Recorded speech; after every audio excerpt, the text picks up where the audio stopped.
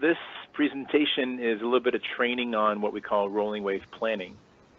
Um, similar to perhaps if you have any experience with Agile, it's what they call Agile planning or sprint planning. It's along along those lines. And it's really the last piece of the process in terms of, um, you know, we plan our work up front and we begin to uh, execute our projects and we have daily huddles to uncover um, daily impediments to the project and resolve those blockages and those types of things. And the rolling wave planning piece is is is another uh, process. It's it's another piece of the process, and I, I just want to you know take a little bit of time to explain what we mean by it and what we need to do and how often.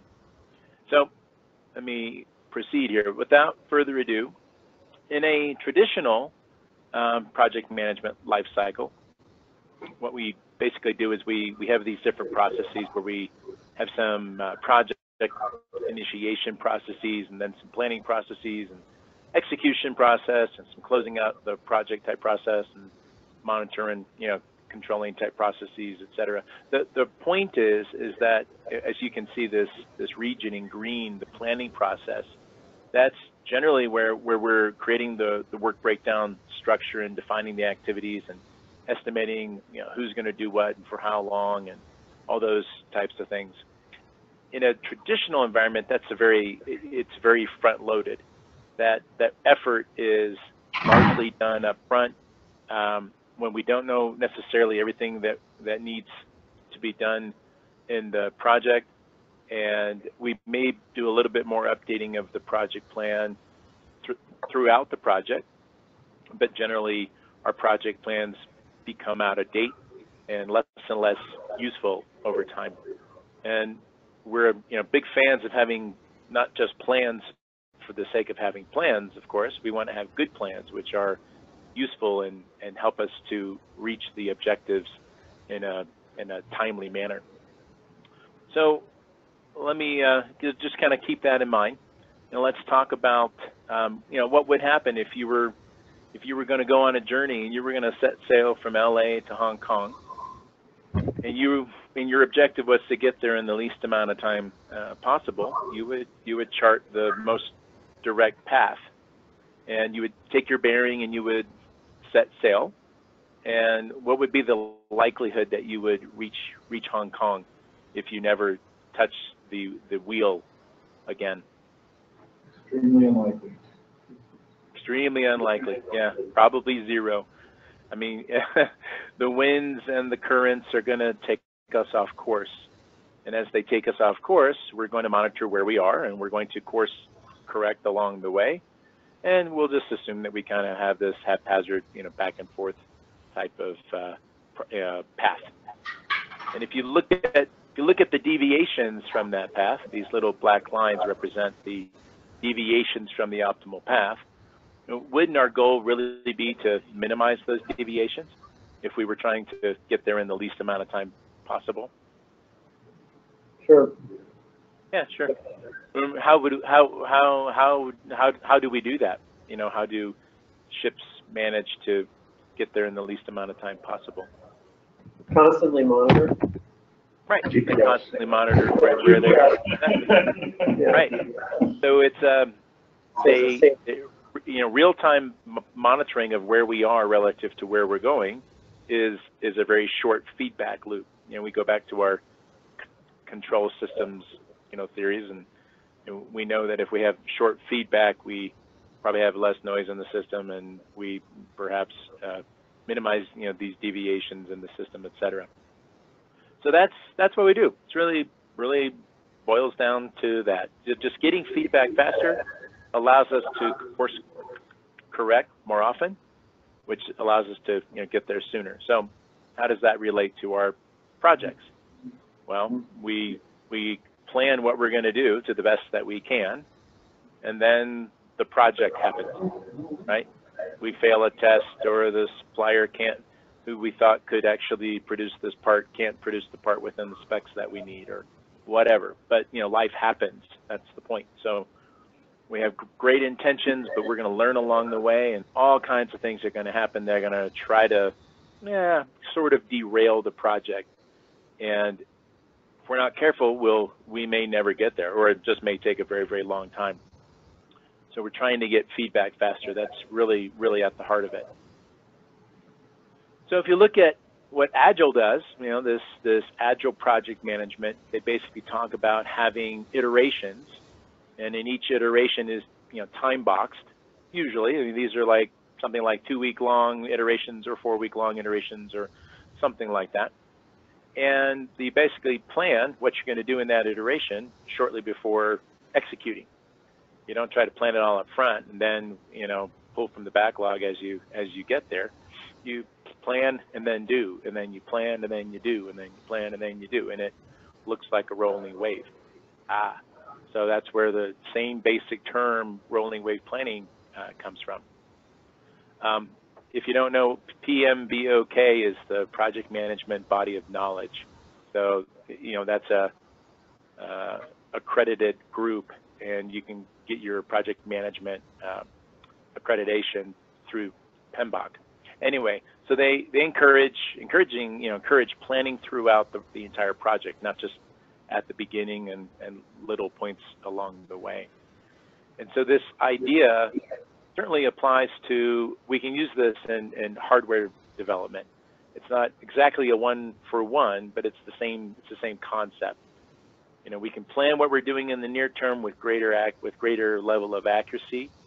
Uh, the farther out we go, we, we know we need to do some verification tests. We don't know exactly what it's all going to look like up front. We just know we're going to have that phase. And so we'll put it into our project plan. And as we get closer to it, then we then we you know, plan it out in, in greater amount of detail. And that's the whole sort of concept of rolling wave. And there's some great benefits of this, um, and probably more than what I've captured here, but a few things are it helps us to keep the priorities correct. And what I'm using as my litmus test for our, our priorities correct, are we working on the right thing at the right time, is the criticality of the tasks. And so if, if my plan gets out of date, the criticality may be out of date. If criticality is out of date, then I may think I'm working on the right thing, but really I'm not. I'm working on the wrong thing. So it all comes down to having a, a pretty good plan and keeping that plan up to date and accurate. Otherwise, it's just garbage in, garbage out. So that helps us to ensure we're working on the right things at the right time. Uh, number two is it helps us to really have much better visibility as far as where where are we really on the project because the uh, milestone dates are going to be updating as we're updating our plan so we can really see better where we're at how much is work is remaining which gives us a better ability to predict when we're going to get there um, also you know agile is all about teams you know it's it's not just like the project manager's project it's everybody's project. We own the project. We're all participating in the project. So this helps to keep everybody engaged and accountable too, sure. And number four, the at the very heart of it, it's about getting the feedback faster. If we don't keep things up to date, we really don't know where we are. We're out in the waters in the middle of the ocean, but we really don't know exactly where we are relative to our goal. So it helps us to keep um, focused on the, the objectives of the project and you know it's sort of going back into planning mode. You know, where are we now, and where where do we need to go in the next four weeks or so? So it's helping to keep the team, you know, focused and also cognizant of where we might be able to avoid unnecessary delays. Um, part of this in, in, is that the level of detail over time changes. Like, so it's important to have a, a high level plan. You know, we, we need some kind of high level plan which uh, helps us to sort of see roughly how long it's going to take us to, to sort of do this project. But it would be, be kind of ridiculous, if you will, to try to plan out the whole project in a lot of detail. And I mentioned in the training a week or two ago that that you know project managers love having detail if if they would have some help updating the actual um, schedule because when you have more detail, you actually get a much better um, estimate of how long really things will take, and you have a much better understanding of really what needs to be done and you know which resources need to do it, and you can plan plan much better. So you have a you have a lot more um, information to to uh, at your fingertip. Okay, but but trying to trying to manage that is is fairly difficult, and it takes a lot of time to kind of put a high level initial plan in. Um, a high, I'm sorry, it takes a lot of time and effort to put a detailed level plan out to the end of the project in place up front. So you, you, you don't bother. You just basically put a high level plan in place. Big buckets. We're going to do a design phase and we're going to have, you know, verification tests and we're going to have, you know, et cetera. So some something like that, maybe a little bit uh, more detailed than, than maybe at that level, you know, but sort of just enough to get a good feel about about roughly how long this project uh, we would expect to actually take. And of course, we'd identify perhaps what the key milestones uh, you know, during that uh, throughout the project are. And then, um, and Agile does the same sort of basic thing. Then you plan in detail uh, what you're going to do next. So there's there's a de detailed plan for the next iteration, for the next time box.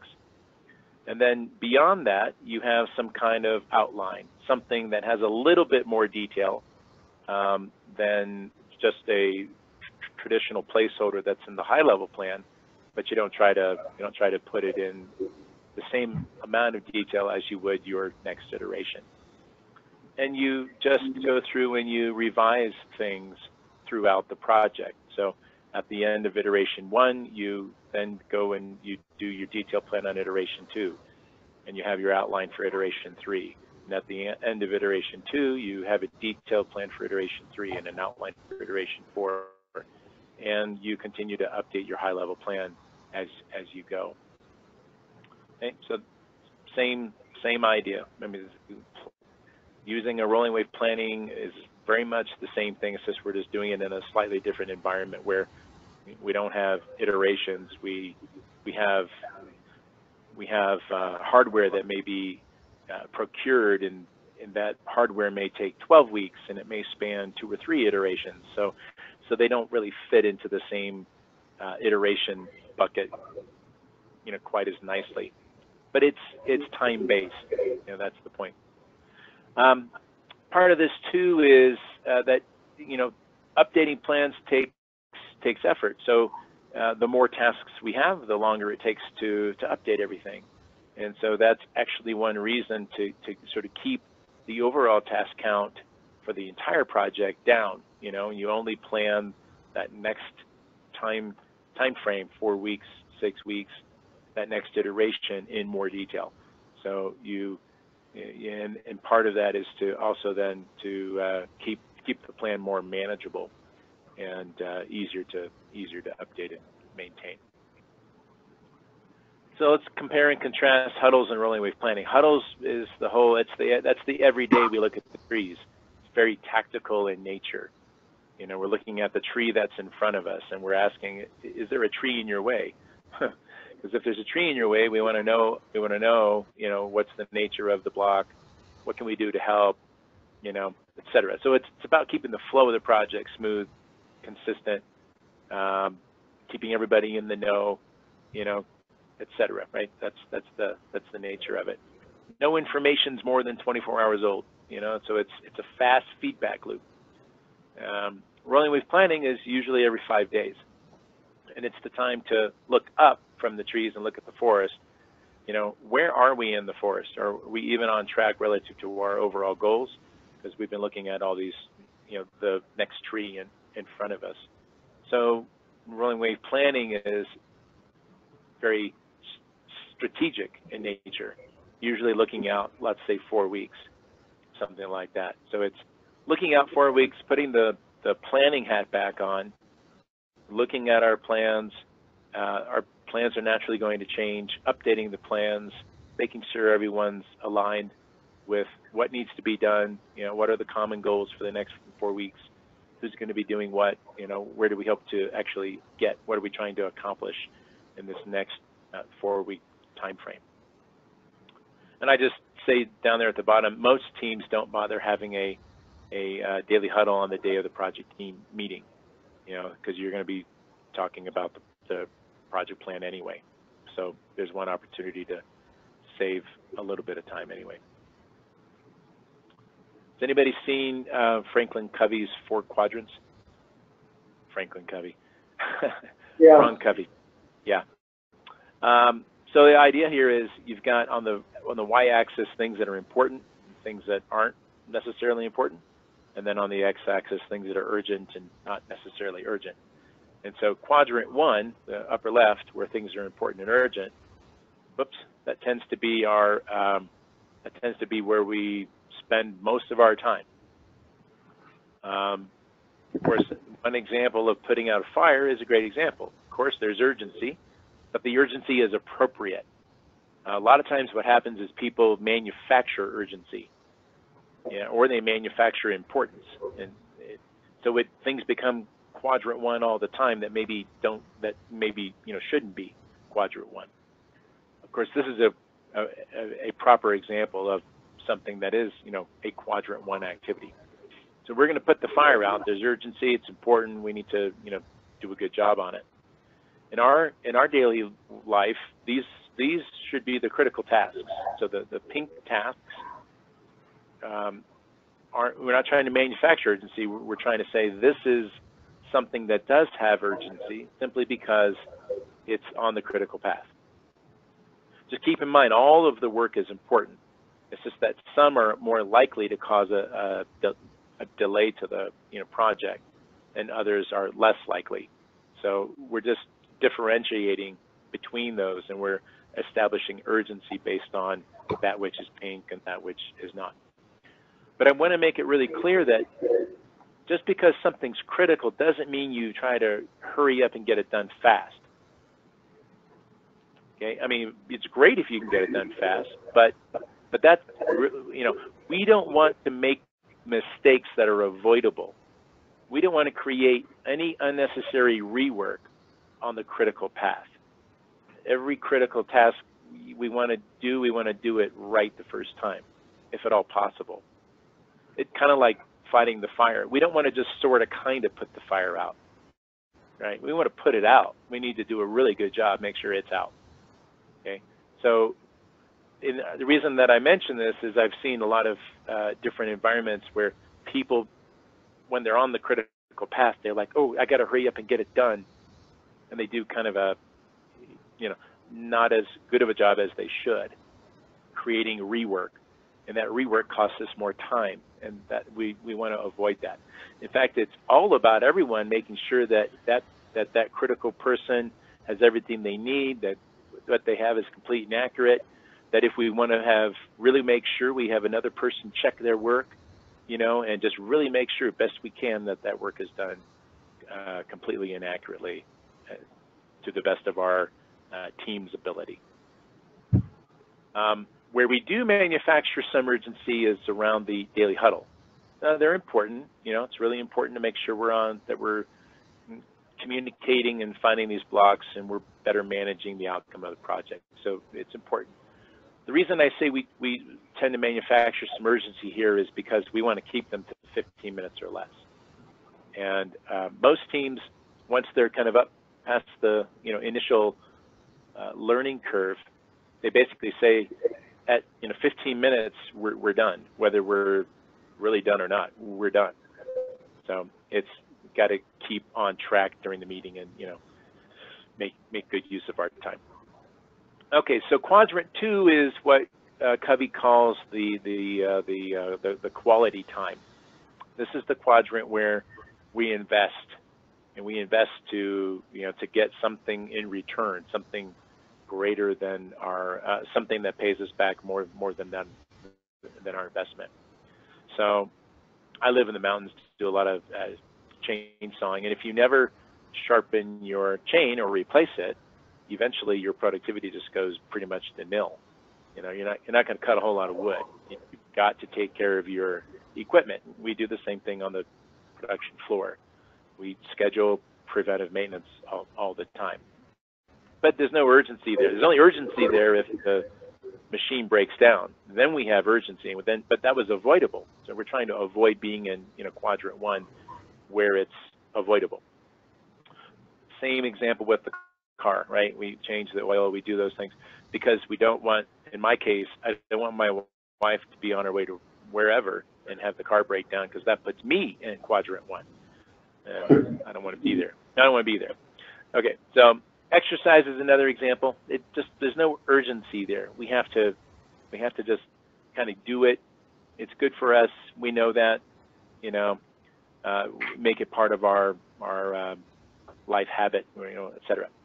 So in the work world, it's the yellow tasks.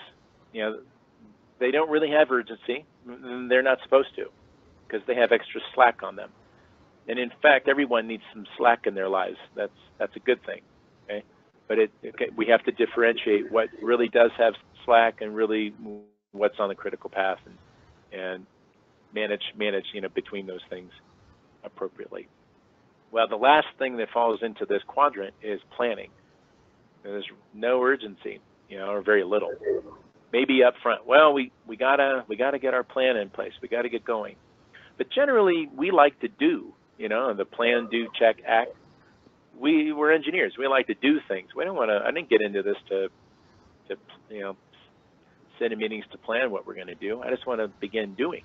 I like doing. It's fun. Well, planning helps us to ensure we're doing the right things at the right time. So that's it has a lot of lot of value, you know. Um, but everything basically in that quadrant requires some discipline. Anyway, uh, in the third quadrant and the last two, I'll just kind of round them out. But it's things that where sometimes we we feel there may be urgency. Sometimes the urgency is appropriate. Sometimes there's urgency. You know, there's urgency because I get a pop up that's the urgency. So I tend to respond to this thing popping up. You know, used to be in the old days because I'm kind of an old guy. The phone would ring, and there was no caller ID, and so there was urgency. What you know, what do you do? Not answer it? Well, no, you answer it because it might be important. So that's that's what I mean. You know, so having this pop up from your email, this is an opportunity to just you know turn it off. Don't don't do it. Just focus during the mornings on you know, that which is most important, work on your project tasks, and then turn your email on later, or at least leave this little pop-up you know, notification off, because it tends to create urgency, and you're constantly trying to check, which is a form of a distraction, which is basically a, creates switching costs and blah blah blah. Anyway, so some phone calls and emails, and of course our last quadrant is is is the veg time. Yeah, great. Main thing with this is the, the quadrant two things all require discipline, and the planning is no different. The rolling wave planning is no different. Having the daily huddles kind of falls in there, but the rolling wave planning really falls into this category. We have to find a way to structure some discipline in the organization in order to ensure that we're doing it. Because we'd rather just be, you know, doing, right? Why, why, why bother planning? So in the spirit of that, um, what we what we do, the only way that I've really found as a fairly effective way to to uh, to get this to become part of your normal behavior is is to create a task. Whether we call it the rolling wave planning task or update plans task or something like that, but basically it gets scheduled for everybody once a week. You know, it's an individual task, so it's a it's a big copy paste operation from now until the end of the project. But the idea is it's a reminder that, hey, we, we're asking you to take a little time to prep for what we would call the project team meeting, which is part of the rolling wave planning process.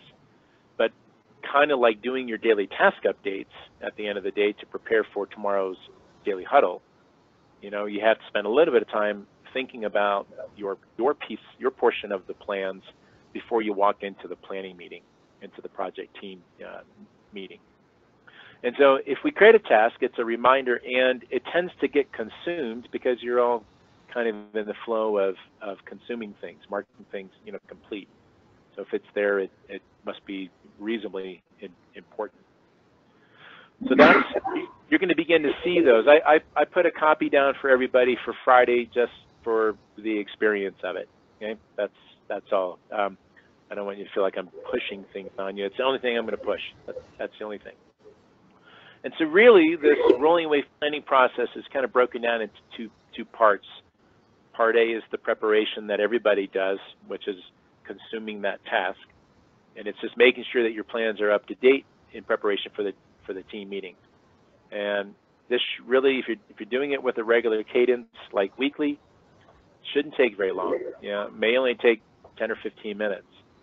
You to go through your your plans, put on your planning hat for you know 10 minutes or so, and etc. You know, do do the following. But it's like like cleaning your house. If you never do it and you're going to only do it once every six months, it's going to be a lot more work. And uh, know, so that's that's the nature of it. And then really part B, which is usually on on a different day, it's usually on the very next day, uh, but it could be in the afternoon of the same day, well, whatever. You know, you'll you'll find what works, you know, for you. But that's when a team, generally a project team, comes together to look at their plan and the health of their project, looking for the next quote unquote iteration, usually the next four weeks or so, and and we'll you know go over some guidelines there as well. So as part of the as uh, no no no um, as the the preparation piece, um, I'd say each person, any any person who is assigned a task, we're just asking them first and foremost to just go through and look look through your all your different tasks on all your different projects. You can use the backlog. It's a nice kind of convenient way to sort of highlight everything. In this case, you would look at every task, you know, not just the queued ones, but the ones that are planned to uh, begin, but they may not be actionable yet. They may not be queued, may not have the fill dot on them yet. And what I say is, you know, drag them forward in time to your best estimate for when you think you are likely to start them. Not not just to the current day, not just to next Monday. We want to give it a little more thought than than that. So this task here, this layout prototype task down here in the plan, it's what we call out of date in the plan. And the reason we call it out of date is because its its projected start date, you know, when it was planned to begin was February 8th. Maybe that is the first day of it. Well, now it's February 14th. So this is in the past. And we haven't we haven't started it yet. It's not scheduled. So it's it's out of date in the plan. It it must be at least on the current day or some day in the future. And rather than, well, so probably what you'll ask for is, why doesn't it just move these things, you know, forward automatically? Yep, it's a great question. And I can tell you, every customer has made that request. And we were getting ready to to code that and make it happen. And, and I'm not saying we, we're not going to, we, we may, but uh, the more experienced customers then eventually came back and said, I'm glad that it's not automatic because we actually need to think through it. It really involves more thought than just blindly moving all the work to the next day. If you move all the work just blindly to the next day, it's like just creating a bigger pile of work for that person on, on the next day. So, you know, they go from having six or eight hours of work on the next day to having 80 hours overtime on the next day. And that's not a realistic plan either. So really, there's a little more of thought that, that kind of goes into how, how do you update these things.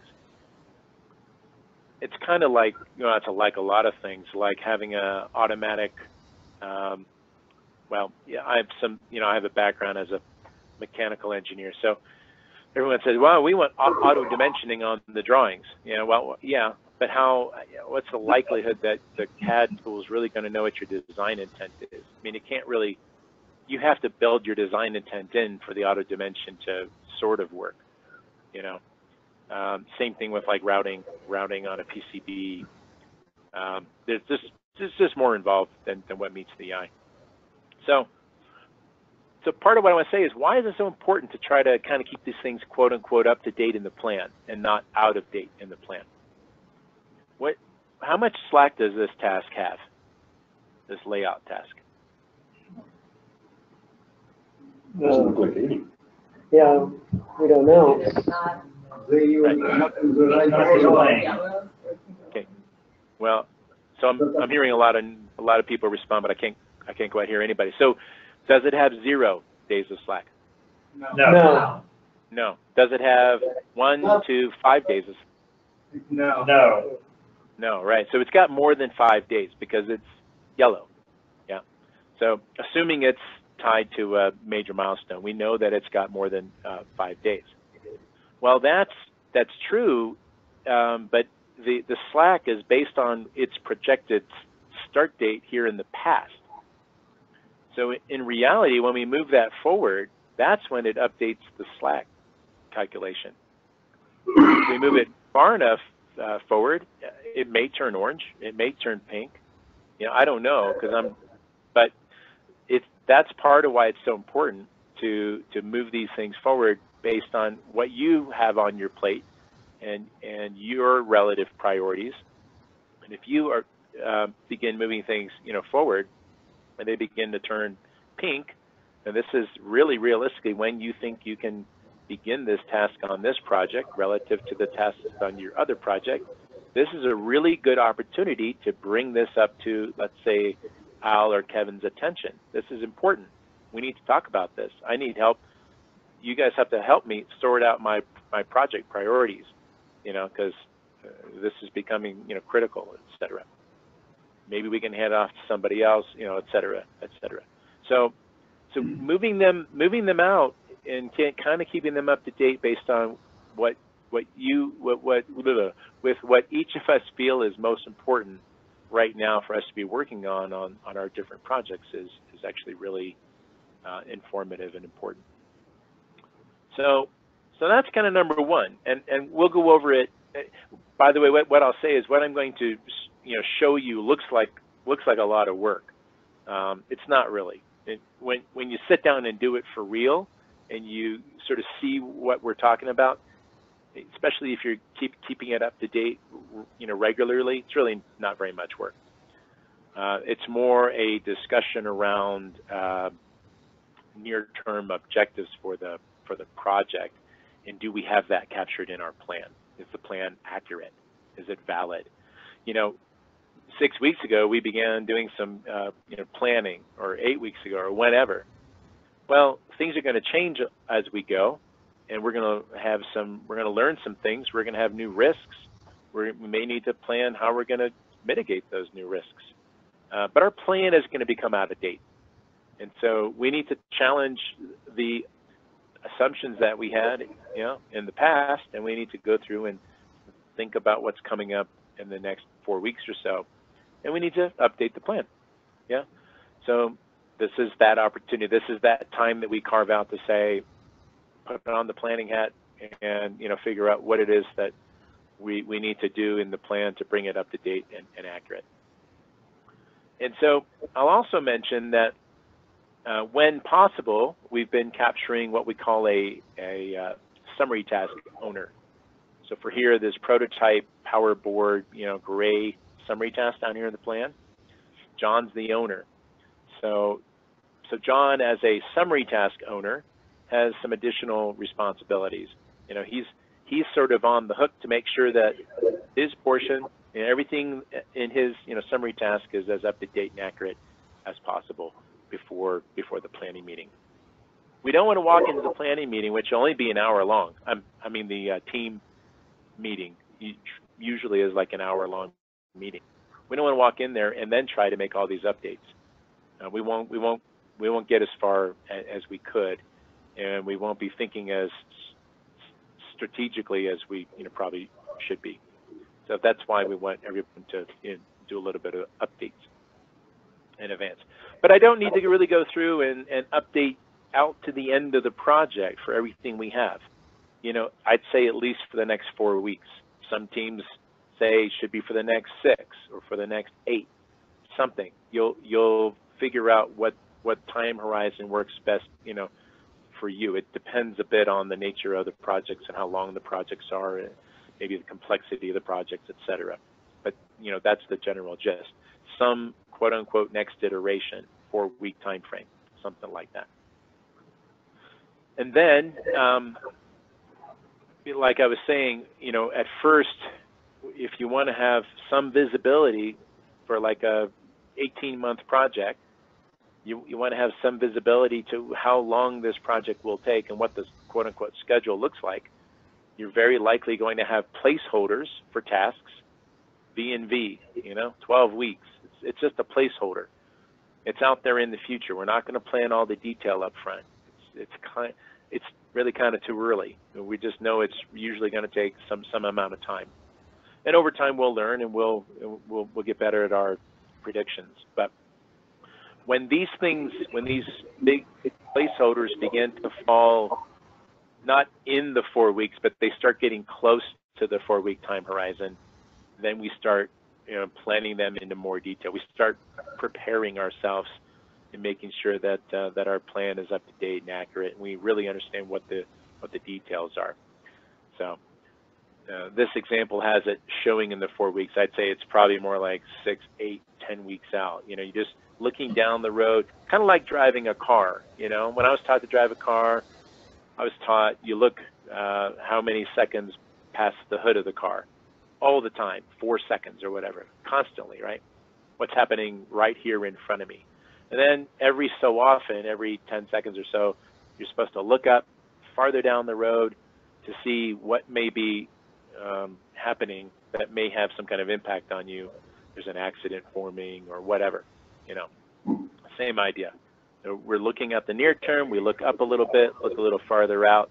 Farther and farther out, we don't really worry about quite yet. You know, it's far enough down the road, we don't we, we don't really need to worry about it yet. That's that's the idea of rolling wave planning.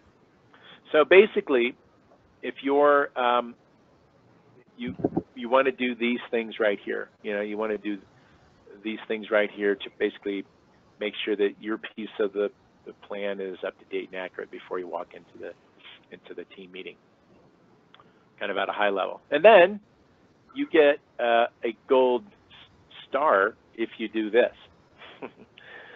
if you if you check your your utilization, and I'll, I'll, show you how to do this here uh, in a few minutes inside a playbook.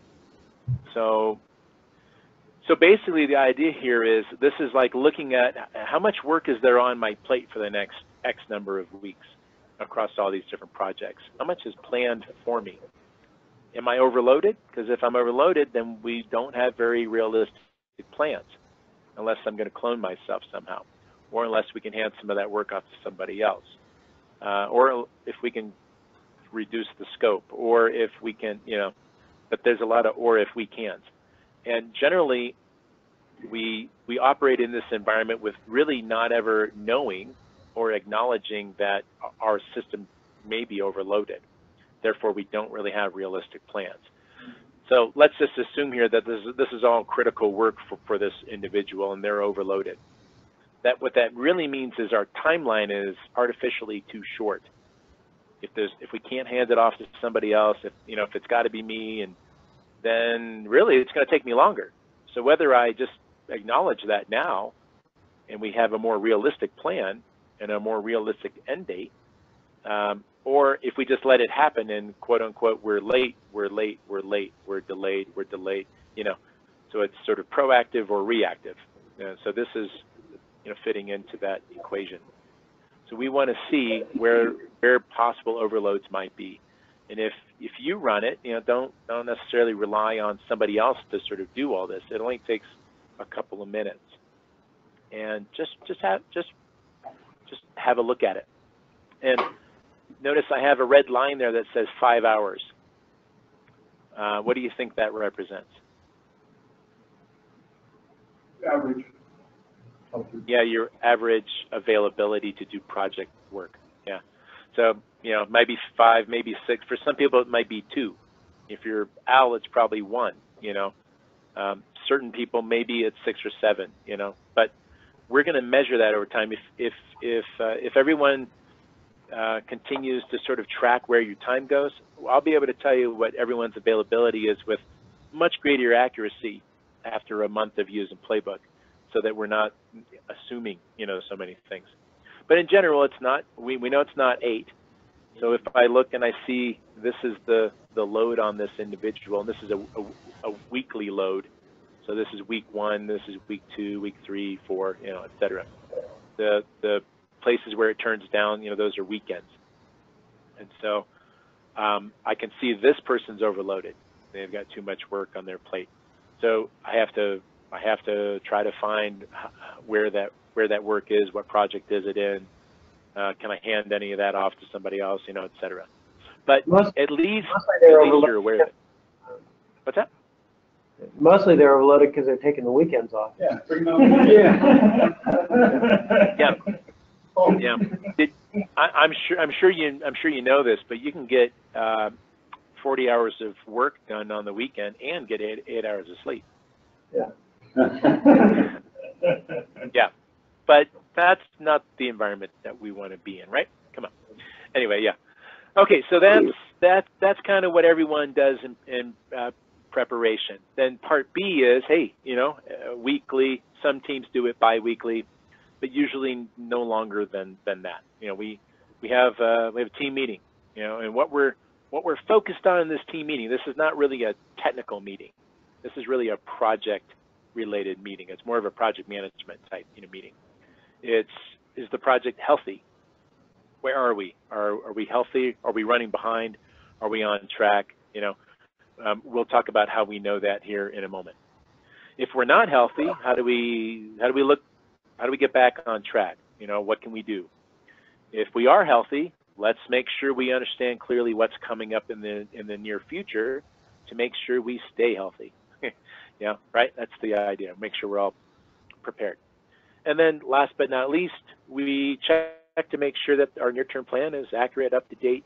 if people have made changes or are going to propose changes, we discuss those things here as as a team. And we make sure we're all, you know, we're all on on the same page. But generally, it's not not a discussion uh, in real detail of what we did in the past. We're not trying to review each and every task in the plan, and it's not it's not focused on technical type things. So uh, yes, of course, at some point you have to have technical oriented meetings. Well, of course, but, but this is really not you know that meeting. Now, if you wanted to say, well, we're going to kind of combine those things, and we'll have one meeting in which we talk about uh, project health, we talk about uh, project risk management, we talk about uh, technical conversations. Oh, that's fine, but you need to budget more time, and you need to probably try to have a, a firm agenda. You know, because we all know that it's very really easy to to talk, you know, technical just um, because we like talking technical. You know, that's that's the nature of it. So how do we answer the question, is the project healthy? Well, one of the things that we'll do on Thursday is we'll begin to set up some buffer charts. We'll set up some buffers, which will drive a whole you know conversation, and we'll set up a, a chart for each of the buffers. Pardon me, and that will help us to to um, assess are are we healthy or not. So the chart's basically, as you can see, broken up into you know three regions: green, yellow, red. Green is healthy. Green is low risk. We're on track. Really not worried about missing our quote unquote deadline. At yellow, we're at some elevated level of risk. When we're in the red, we're at a higher level of risk. It doesn't mean we're necessarily going to be late or miss our deadline. It just means that we're at a higher probability, you know, of missing our deadline. Fewer things could go wrong and will end up causing, uh, having or experiencing additional delays that will uh, cause us to end up being late, quote unquote late. Okay. So what we do is we look from from like for the last week. If if it's been the last week, we look we're looking at well how did our buffer consumption? What happened in the last week? And if we see sharp inclines or we start burning a lot of buffer, we need to understand what's the cause, what's happening, right? You know, and it's I think it's important that the team understands what's happening, um, because the team is going to help to, figure out what maybe we can do to get back on track. So understanding what the nature of the cause of the delay can be very um, informative, very useful. So, so this meeting in part is where we at, and do we have any sharp inclines? How are we trending? You know, we expect to use most, if not all, of the buffer. That's what we expect. But if we use it too fast, we're at an elevated level of risk of missing our deadline, and that's what we want to avoid. Some things that cause delays may be things that are going to happen uh, on all projects. So understanding what those causes are may um, help us to learn and to better manage other projects as well. Some causes of delays we just don't want to repeat on this project. Maybe we have another buying cycle or whatever it might be that caused that one. We want to make sure it doesn't happen, you know, in the next iteration um, on this project either. You know that we that we better manage it. So then we have a little conversation around how do we get how do we get back to being being healthy. Now you're not going to see these things change. We're not we're not going to have a dip. We're not going to regain buffer. So in this case, what this means here is that our uh, milestone that we're tracking is 20 20 some days, 22 days um, to the right of the start of the buffer. It you know it's moved up 22 days, quote unquote, into the buffer. Uh, on the next day, it moved back down uh, 10 days. So we did something on the next day that allowed us to regain some time. What would some examples be? Well, usually if it's that quick of a turnaround, it's we decided to expedite something. We paid an extra $5,000 to expedite that order, and that was a four-week lead time, and we just cut it down to two weeks. So maybe that's what, what we did sometimes we'll see it kind of come back down, but gradually, more slowly. Um, and that might be, well, we've figured out that we're very likely to end up having more delays if we don't get another pair of hands in the X group, you know, to help us out, whatever that is, mechanical, electrical, software, test, whatever it is, right? We just realized we got a big chunk of work coming up we're going to need to get more resources on it to help us out. That usually takes some time because you don't usually just get people into the project and they're helping you out immediately, you know, right away. Depends on the nature of the work. So, but that's what we're looking for. We're looking at the plan and we're like, uh-oh, we're using our buffer too quickly. Let's look forward in the plan. Anybody got any ideas about how we might save some time? Is there any work that we can cut? maybe we had a bunch of uh, risk mitigation and we decide that we're going to have to go at a little yeah i don't like that way neither but but sometimes we might change the the uh, scope of the work that we're going, to do uh, we may offload work to other people in another pair of hands that could be could be an external party you know hire some contractors could be and i'm sure there's other things that we might uh, you know look at as ways that we might regain some some time. Um, but that's what that's what this meeting is all about, having that conversation. Last but not least, you'll see on here it says rebuffer the project, and yeah, that's that's always an option. Well, we'll just add more time to our buffer. That sounds great. I love that idea. The problem is, is when we get into the into the buffer training, what you're going to learn is basically, this everything in Playbook is pretty fluid right? You know, this is going to change, that'll change, that'll grow a day, that'll shrink a day, blah, blah, blah. Except for the end of the buffer. Once we once we establish a buffer, we enter into that's where we enter into our agreement uh, with with the business.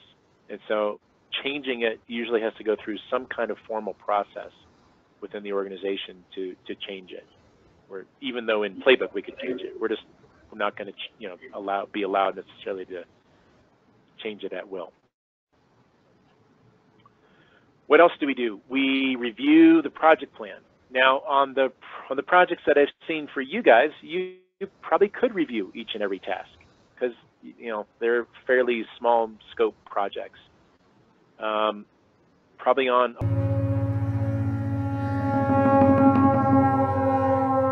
got a lot more moving parts, a lot more things, you know, a lot of tasks, a lot of parallel paths. Probably not going to have time to review everything. Probably don't need to. You know, we need to kind of have the summary task owners understand uh, enough about project management to, to better manage their piece of the plan. But what we're going to mainly focus on is the critical activities. You know, we're going to look in at the critical, near critical paths. We want to review those first. we want to make sure those are up to date and accurate. We want to find ideas for ways we can maybe save time on the critical path without necessarily incurring any unnecessary risk. You know, but we want to bring those ideas to the table.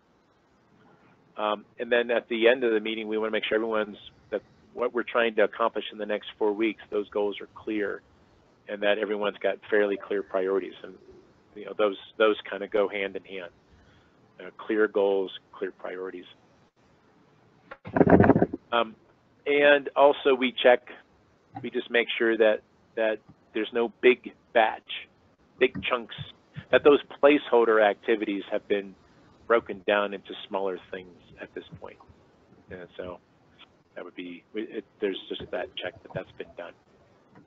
Okay, and that's and that's it uh, as far as as far as what rolling wave planning is, kind of what we're looking to actually do.